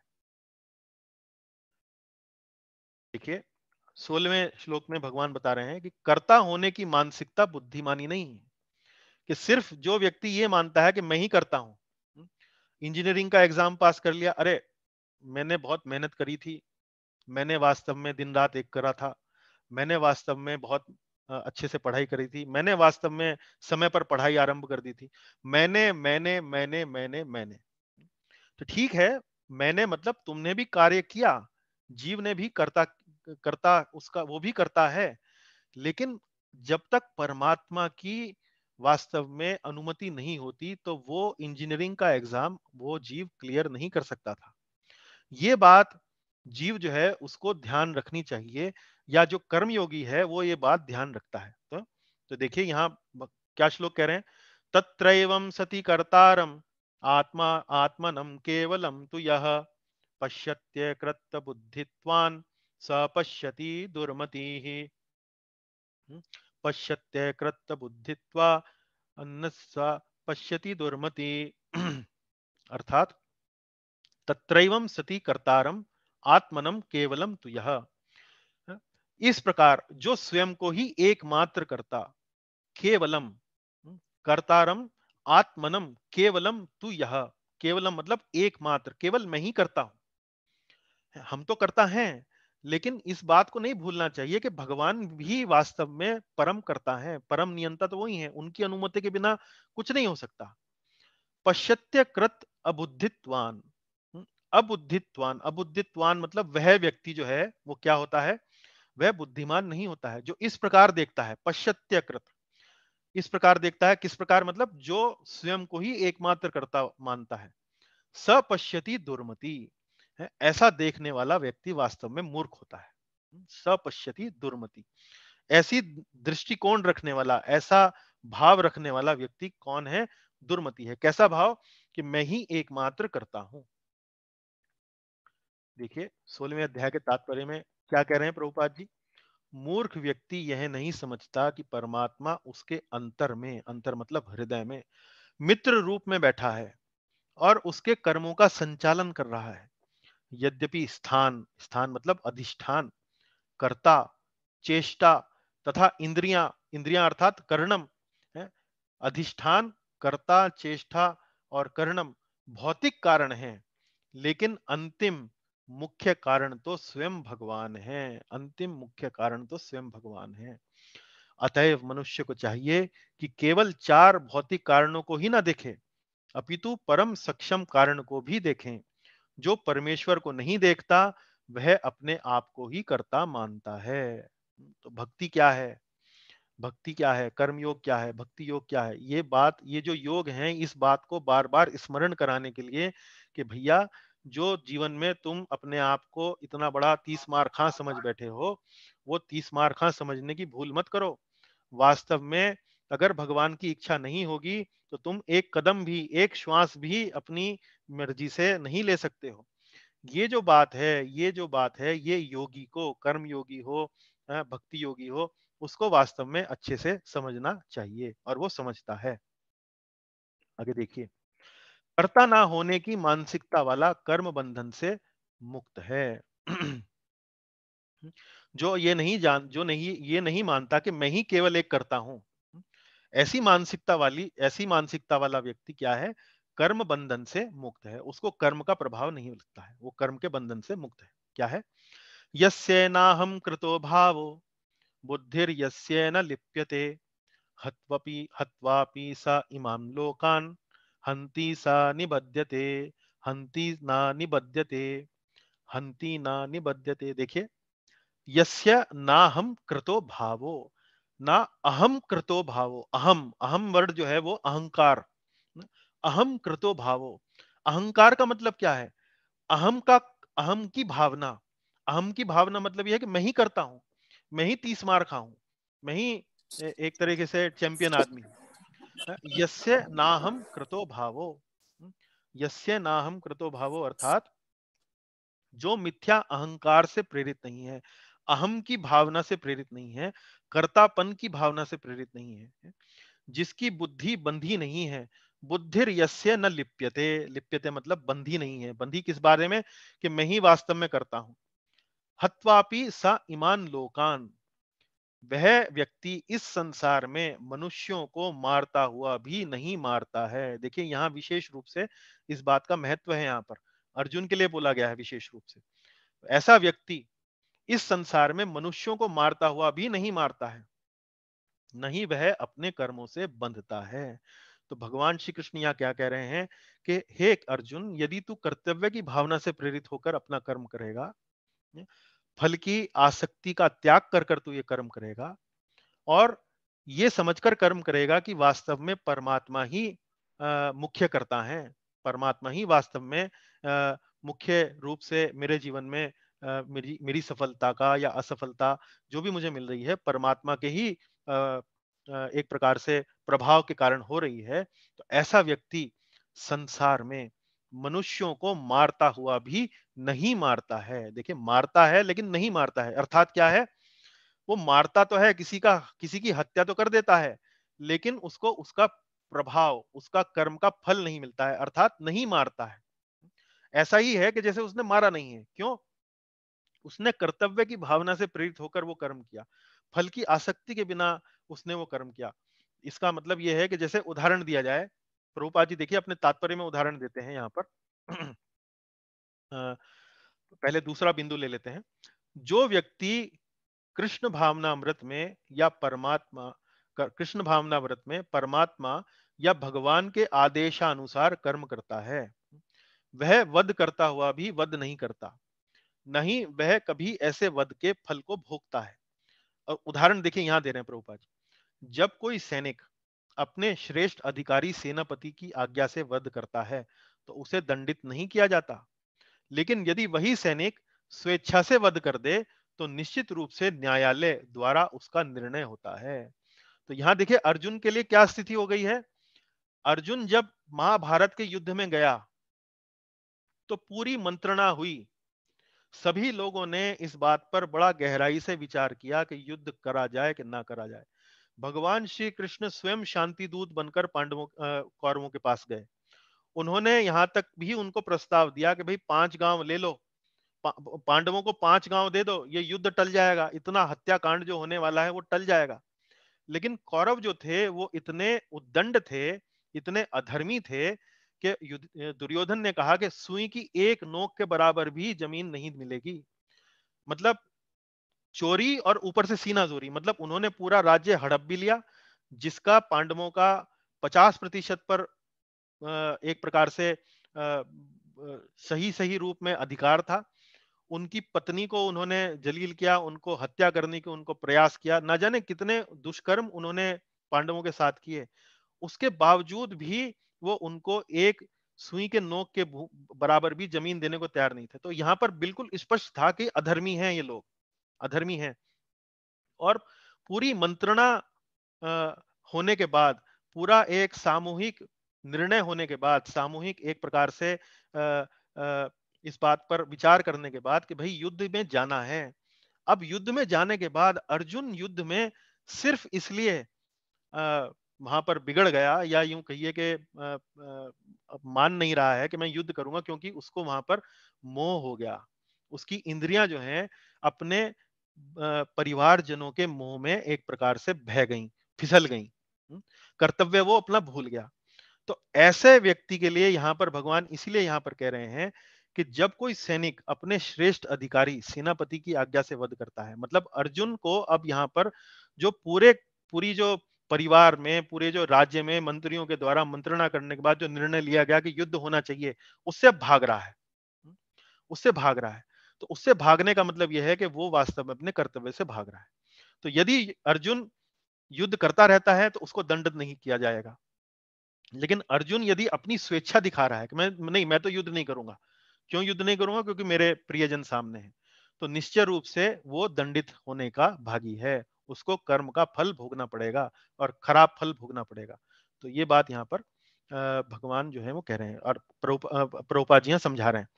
अब यहाँ देखिए पहली पंक्ति क्या है? अर्जुन स्वयं को कर्ता मान बैठा था। अर्जुन अपनी मनमानी कर रहा था। नहीं, मैं तो नहीं करूँगा क्योंकि मेरे बंधु बांधव हैं। लेकिन उसने अपने भीतर तथा बाहर परम के निर्देश पर विचार नहीं किया था, है। भगवान स्वयं कह रहे हैं, भगवान श्री कृष्ण स्वयं कह रहे हैं कि तुम युद्ध करो। नहीं बोले, मैं तो नहीं करता। तो इसलिए ये यहाँ पर भगवान बता रहे हैं श्लोक में कि जो अहंकार से प्रेरित नहीं है, जो कर्तापन के भाव से प्रेरित नहीं है, वो जब युद्ध भी करेगा तो भी उसको कर्म का कोई फल नहीं लगेगा तो इसलिए तू चिंता मत कर, तुझे कोई पाप नहीं लगेगा तो युद्ध कर। देखिए, तीनों गुण सभी क्रियाओं तथा जीवों को नियंत्रित करते हैं। अब हम अगले विषय पर जा रहे हैं, अगले विभाग पर जा रहे हैं। अभी तक भगवान श्री कृष्ण ने अर्जुन को दो बातें बताई कि कर्मयोग क्या है और दूसरे विभाग में यह बताया कि कर्मयोगी जो होता है, वो अपने को कर्ता नहीं मानता है। सिर्फ़ अपने को कर्ता नहीं मानता है, वो मुख्य कर्ता के रूप में भगवान को देखता है, इसलिए उसको शास्त्र के अनुसार उसके जो वरिष्ठ जन हैं, जो उसके जो ऊपर के जो सीनियर लोग हैं, उनके कहे के अनुसार जब वो कर्म करता है तो वो सेफ़ रहता है, उसको किसी कर्म का फल नहीं लगता है। अब इसी चर्चा को वो आगे बढ़ा रहे हैं। अब इस चर्चा में वो क्या कह रहे हैं कि जो भी हम कर्म करते हैं, तीनों गुण सभी क्रियाओं तथा जीवों को नियंत्रित करते हैं। उन पर हमारे जो तीन गुण हैं, सत्वगुण, रजोगुण और तमोगुण, उन पर वास्तव में उनका प्रभाव रहता है। सभी क्रियाओं को और तथा जीवों को नियंत्रित करते हैं। उस बात को समझाने के लिए भगवान श्री कृष्ण यहाँ पर अठारवा श्लोक बोलते हैं। देखिए क्या कहते हैं। कर्म के तीन प्रेरक व तीन संघटक। थोड़ा टेक्निकल है, समझाऊँगा मैं आपको। आसानी से समझ में आ जाएगा, इतना कठिन नहीं है। ज्ञानम ज्ञेयम परिज्ञाता, त्रिविधा कर्म चोदना। कर्णम कर्म करतेति, त्रिविधा कर्म संग्रह। कर्म चोदना कर्म चोदना का मतलब यहाँ पर ये है, प्रेरणा देना है। कर्म चोदना मतलब कर्म की प्रेरणा किस प्रकार से होती है? कर्म की प्रेरणा होती है तीन प्रकार से, त्रिविधा। कोई भी कर्म हम करते हैं, वो पहले प्रेरणा होती है उसकी। मान लीजिए मुझे अपना घर बनाना है या कोई बिल्डिंग बनानी है तो पहले उसकी प्रेरणा आएगी। प्रेरणा आएगी मतलब मन में विचार आएगा कि मुझे घर बनाना है, ये घर इतना बड़ा होना चाहिए, ये घर में इस उपयोग के लिए इस्तेमाल करने वाला हूँ, इत्यादि इत्यादि। तो कर्म के तीन प्रेरक होते हैं और तीन संघटक होते हैं। तीन संघटक मतलब जब उसको मूर्त रूप दिया जाता है कर्म को तो तीन तीन फैक्टर वहाँ होते हैं और जब कर्म जो है वो प्रेरणा के स्तर पर होता है, तब उसके तीन प्रेरक होते हैं। वो कौन कौन से? तीन प्रेरक हैं ज्ञानम, ज्ञेयम और परिज्ञाता। और तीन संगठक कौन से हैं? कर्णम, कर्म और कर्तेति, कर्ता। कर्णम मतलब इंद्रिया, कर्म मतलब जो कार्य हम करते हैं और कर्तेति मतलब करता, करने वाला। ये तीनों कर्म के संगठन हैं। इसको एक उदाहरण के माध्यम से समझेंगे। देखिए, कर्म के तीन प्रेरक कौन से हैं? ज्ञानम, ज्ञेयम और परिज्ञाता। मतलब क्या?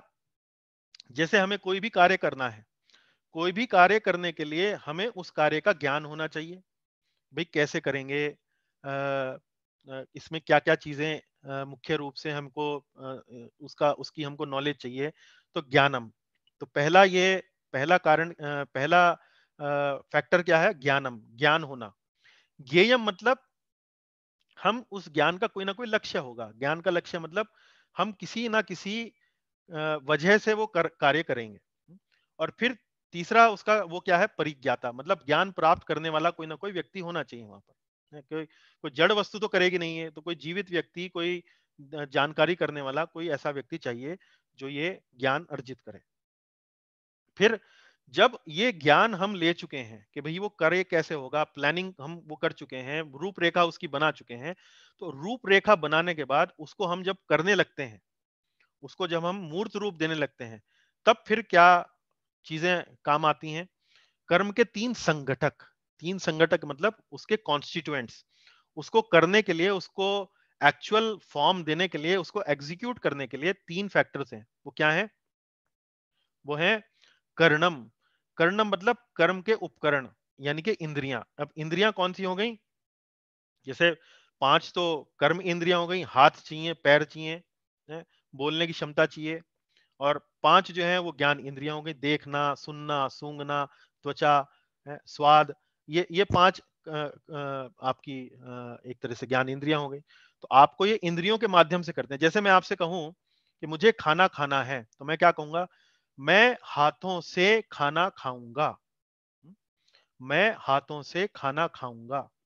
तो मेरा आ, कर्म कौन सा है? मेरा कर्म है खाना खाना। और खाना मैं कैसे खाऊँगा? आँखों से हाथों से खाऊँगा मैं। या चबाकर खाऊँगा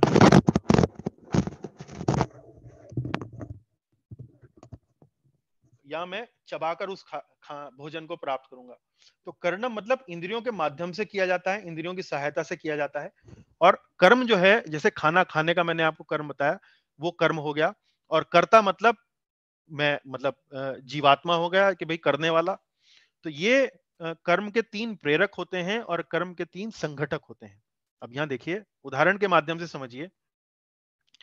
जैसे मेरी कर्म के तीन प्रेरक, मान लीजिए मेरा मुझे किसी व्यक्ति का इलाज करना है। कोई व्यक्ति है, कोई रोगी है और मुझे उस व्यक्ति का इलाज करना है। तो यानी कि मैं डॉक्टर बनना चाहता हूँ या कोई मतलब मैं चिकित्सक बनना चाहता हूँ तो उसके लिए मुझे उसकी तैयारी करने के लिए क्या करना पड़ेगा? उसकी तैयारी करने के लिए मुझे ज्ञानम, पहले चिकित्सा विज्ञान पढ़ना पड़ेगा। मतलब मेडिकल साइंस की मुझे जानकारी चाहिए और फिर ज्ञेयम, उसका लक्ष्य मुझे क्लियर होना चाहिए। भाई मैं ये चिकित्सा विज्ञान क्यों पढ़ रहा हूँ?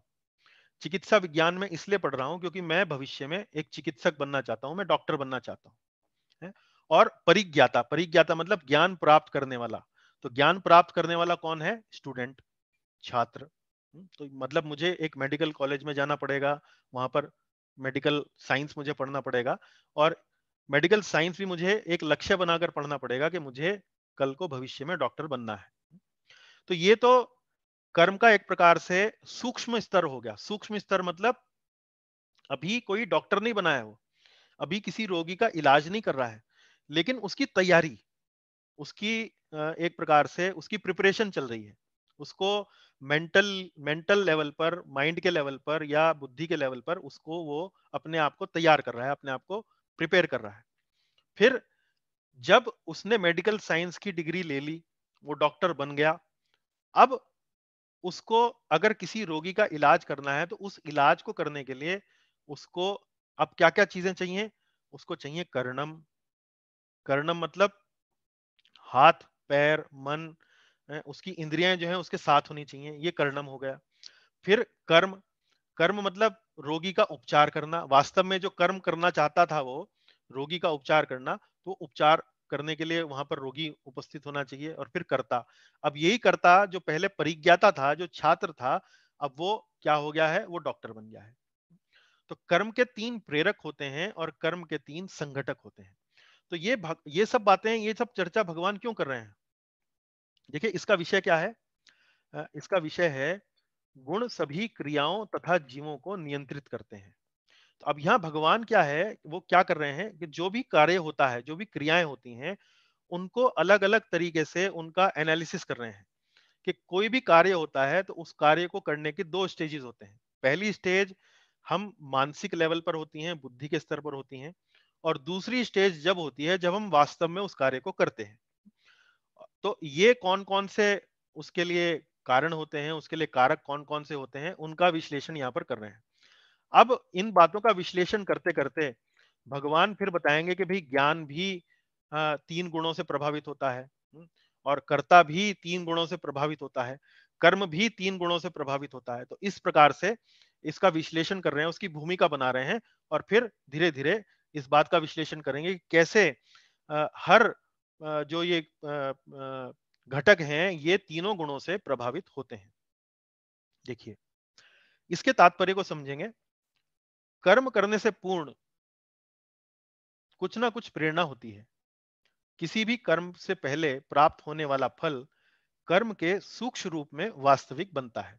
इसके पहले, इसके बाद वह क्रिया का रूप धारण करता है पहले सूक्ष्म रूप में वास्तविक बनता है और फिर क्रिया का रूप धारण करता है। सूक्ष्म रूप का मतलब मन के स्तर पर प्लानिंग चलती है, हम उसके ज्ञान लेते हैं, हम उसका प्रेरणा लेते हैं।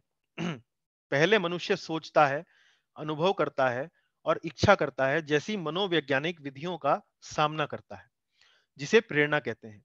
और यह प्रेरणा चाहे शास्त्रों से प्राप्त हो या गुरु के उपदेश से प्राप्त हो, ये एक सी होती है। प्रेरणा तो प्रेरणा होती है कि मुझे ये कार्य करना है। वो चाहे शास्त्र से मिले, चाहे गुरु से मिले, चाहे उपदेश से मिले, वो प्रेरित होता है कि मुझे कोई कर्म करना है। जब प्रेरणा होती है और जब कर्ता होता है तो इंद्रियों की सहायता से, जिसमें मन सम्मिलित है और जो समस्त इंद्रियों का केंद्र है वास्तविक कर्म संपन्न होता है। किसी कर्म के समस्त संगठनों को कर्म संग्रह कहा जाता है। तो कर्म संग्रह का मतलब क्या? देखें यहाँ पर। कर्णम कर्म करते थी त्रिविधा कर्म संग्रह। कर्म संग्रह मतलब कर्म जो है वो पूर्ण रूप से मूर्त रूप से क्रिया रूप में वो आ, सामने प्रकट होता है। प्रेरणा होने के बाद जब करता हो करता मतलब करने वाला हो उसके पास इंद्रियाँ हो इंद्रियों की सहायता से जिसमें मन भी सम्मिलित है और जो समस्त इंद्रियों का केंद्र है वास्तविक कर्म संपन्न होता है। तो कर्ता कर्णम और कर्म। देखिए यहाँ पर देखिए पिछले श्लोक में जाएँगे। कर्म संग्रह के तीन कौन से कारण हैं? कर्णम कर्म और करतेती। करतेती मतलब कर्ता। तो वही चीज़ यहाँ प्रभुपाद जी तात्पर्य में लिख रहे हैं कि जब आ, कर्ता होता है इंद्रियों की सहायता लेता है, यानी कि कर्णम होता है, तभी वास्तविक कर्म संपन्न होता है। किसी कर्म के समस्त संगठनों को कर्म संग्रह कहा जाता है। तो इसी को कर्म का एक प्रकार से क्रियान्वयन करना मतलब उसको मूर्त रूप दे देना, ये एक तरीके से यहाँ भगवान बता रहे हैं। तो अब यहाँ देखिए, कर्म की प्रेरणा तथा कर्म के संघटक गुणों से प्रभावित होते हैं। मतलब जब हम प्रेरणा लेते हैं कर्म करने की यानी कि ज्ञान लेते हैं। और जब कर्म हम वास्तव में करते हैं, ये दोनों बातें जो हैं, तीनों गुणों से प्रभावित होती हैं। है सत्व गुण से, रजोगुण से और तमोगुण से ये तीनों प्रभावित होती हैं। है, अब इन्हीं तीनों गुणों के आधार पर भगवान श्री कृष्ण जो है, तीन प्रकार के ज्ञान, तीन प्रकार के कर्म और तीन प्रकार के कर्ता उनके बारे में चर्चा करेंगे। तो अगली कक्षा में हम यहीं से अपनी चर्चा आरंभ करेंगे। ये जो बॉक्स हमने दिखा रखा है, जिसमें हमने ये लिखा है कि भगवान छह कारणों को तीन में सीमित कर देते हैं, इस पर चर्चा हम अपनी अगली कक्षा में करेंगे। तो आशा है आपको आज की कक्षा उपयोगी लगी होगी, समझ में आई होगी। आपका बहुत बहुत धन्यवाद। आज की कक्षा को यहीं विराम देते हैं। श्रीमद भगवद गीता की जय, शिला प्रभुपाद की जय। यदि आपका कोई प्रश्न हो, कोई टिप्पणी हो तो आप हम चर्चा आप कर सकते हैं। बहुत बहुत धन्यवाद। बताइए कक्षा आपको सुलभ लगी ठीक लगी समझ में आई? हरे कृष्णा प्रभु जी। निर्मला माता जी हरे कृष्णा। हाँ ये आपने जो पाँच कारण बताए कर्म के ये बहुत अच्छे से खोल के समझाए। जैसे हम्म। शरीर और ये आत्मा करण चेष्टा भाग्य परमात्मा हम्म। ये अच्छे से समझ में आए भी इन पाँचों के कारण ही कर्म होता है। हाँ ये विश्लेषण कर रहे हैं। भगवान जो है इस समय एक तरीके हाँ। से विश्लेषणात्मक कर्म का अध्ययन कर रहे हैं। जैसे हाँ हम जैसे हम कई बार कोई भी कार्य करते हैं जैसे हम बोलते हैं कि भाई हमें कोई मान लीजिए पराठा बनाना है कोई रोटी सेकनी है रसोई हाँ तो रोटी सेकने के लिए अब उसको अगर विश्लेषण किया जाए तो कि भाई रोटी सेकने के लिए आपके पास बेलन होना चाहिए आपके पास चकला होना चाहिए आपके पास तवा होना चाहिए तो ये तो हो गया अधिष्ठानम। ये तो अधिष्ठान हो गया। हाँ फिर फिर कर्ता होना चाहिए कर्ता मतलब कोई रोटी बनाने वाला होना चाहिए। है फिर इंद्रिया कर्णम कर्णम का मतलब इंद्रिया के भाई आँख पैर हाथ पैर जो है सही सलामत होने चाहिए स्वस्थ होने चाहिए। है ना? हाँ उसके बाद परमात्मा की भी परमिशन होनी चाहिए उसके अंदर है ना? कि भाई अगर परमात्मा परमिशन नहीं देंगे तो इंद्रिय कार्य नहीं हो सकता। मान लीजिए आपकी गैस खत्म हो जाए हाँ या या आपके घर में कोई बच्चा हो वो बीमार पड़ जाए आपको समय ना मिल पाए भोजन बनाने का तो भाग्य का भी साथ होना चाहिए और ये सारे जो और चेष्टा चेष्टा होनी चाहिए। चेष्टा का मतलब क्या है कि उस व्यक्ति को रोटी बनाना आना चाहिए। है ना? हाँ तो इस तरह से इस तरह से भगवान ये सब बता रहे हैं कि भाई कोई भी कर्म करो तो ये पाँच कारण जो है वो मुख्य रूप से उसमें रहते हैं।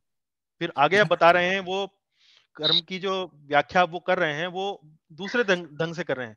अब वो बता रहे हैं कि भाई कर, कोई भी कर्म होता है उसके दो स्टेजेस होती हैं एक तो प्रेरणा और फिर दूसरा मतलब जब वो एग्जीक्यूट किया जाता है जब उसको किया जाता है। और फिर आगे की चर्चा हम इस पर अगली कक्षा में करेंगे। ठीक है। और कोई आपका प्रश्न? और कोई आपका? हरे कृष्णा मंगला माता जी तन्वी जी राजलक्ष्मी जी बहुत अच्छा लगा बहुत अच्छा जी, लगा। जी अदी अजीता माता जी। हरे कृष्णा ईश्वर जी अशोक प्रभु जी हरे कृष्णा हरीश जी हरे कृष्णा जीवन प्रभु हरे कृष्णा। हरे कृष्णा प्रभु जी। चलिए। हरे कृष्णा प्रभु जी। चलिए हरे कृष्णा प्रभु जी। हरे कृष्णा प्रभु जी। चलिए फिर अगली कक्षा में फिर भेंट करेंगे आगे बढ़ाएँगे अपनी चर्चा को। बहुत बहुत धन्यवाद। हरे कृष्ण। हरे हरे कृष्ण जी। हरे कृष्णा जी। थैंक यू प्रभु हरे कृष्ण हरे कृष्ण। धन्यवाद धन्यवाद। हरे कृष्णा। हरे कृष्ण प्रभु जी। हरे कृष्णा हरे कृष्ण प्रभु जी हरे कृष्णा। हरे कृष्णा।